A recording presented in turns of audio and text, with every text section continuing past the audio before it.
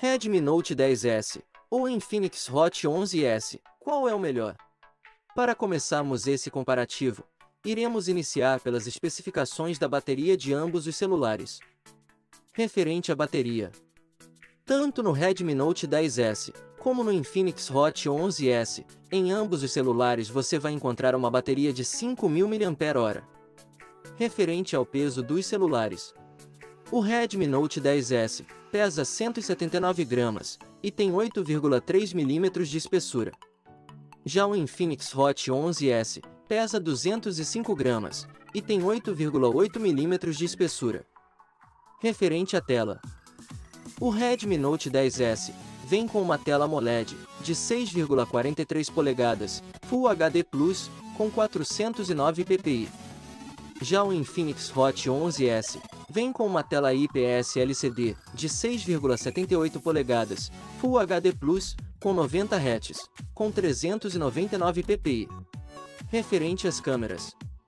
No Redmi Note 10S, você vai encontrar um conjunto de câmeras quádruplas, cuja câmera principal é de 64 megapixels, e mais uma câmera de 8 megapixels ultra-wide, e mais duas câmeras de 2 megapixels, sendo uma para fotos macros e a outra para fotos com efeito profundidade.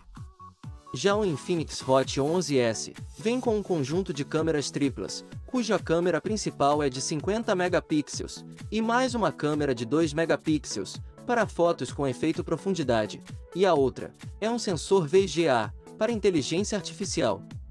Já na câmera frontal, o Redmi Note 10S vem com uma câmera frontal de 13 megapixels. Já o Infinix Hot 11S vem com uma câmera frontal de 8 megapixels. Já no quesito desempenho, no Redmi Note 10S, você vai encontrar o processador Helio G95, com 6 GB de memória RAM e 128 GB de armazenamento interno. Já no Infinix Hot 11S, você vai encontrar o processador Helio G88, com 6 GB de memória RAM e 128 GB de armazenamento interno.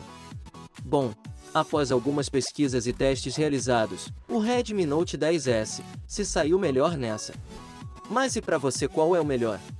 Redmi Note 10S ou Infinix Hot 11S? Deixa aí abaixo nos comentários.